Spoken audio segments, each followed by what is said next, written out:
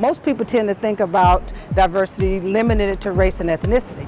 So at Morehouse School of Medicine, we intentionally recruit what we describe as academically diverse students. That means students who don't have the highest GPA or the highest MCAT we know that if we can get those students who have had different life experiences, and if we can get them to perform just as well as students who have MCAT scores of 31 when they come in, we know that we are now creating a platform for greater success for those students and for the patients that they're going to be caring for.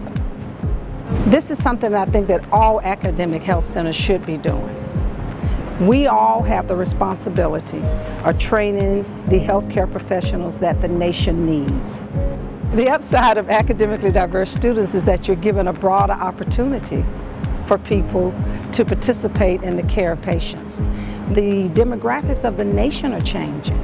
And so if we're not responsive to that, it's great to have great innovation and technology, but if it's not useful to the people, then what's the benefit of it?